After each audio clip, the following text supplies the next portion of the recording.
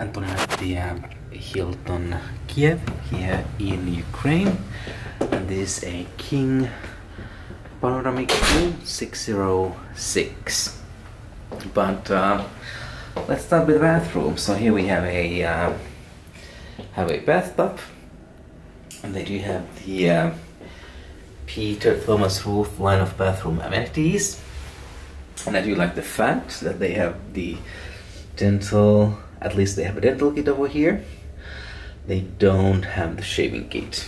So you do need to request that separately if you need one but the other ones are often very terrible quality so better bring your own.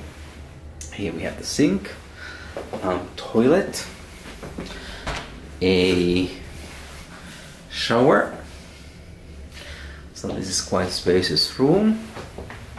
Um, plenty of closet space. There's the um, an ironing board and an iron. An umbrella. Uh, the in-room safe. I never use them but uh, I guess that you should. So well so plenty of space if you have a lot of stuff but I'm just using the uh, lucky struck over here. So they have the diamond amenity over here.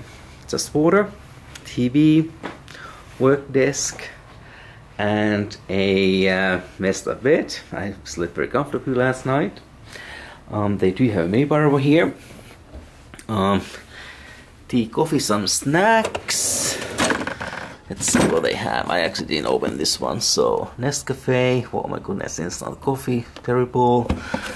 Um, snacks, condoms. And here's the automatic mini bar. So if I can get this open, so you have to be very careful if you move the stuff because it goes automatically to your bill. So be careful.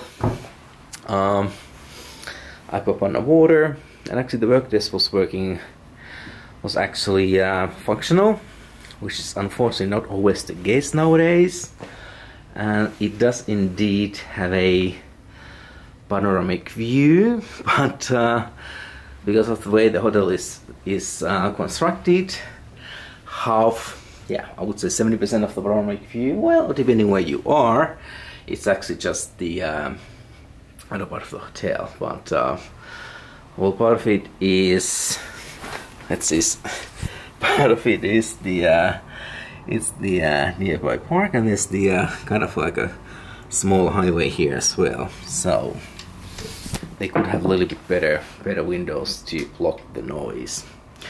Um, but so the room is fine.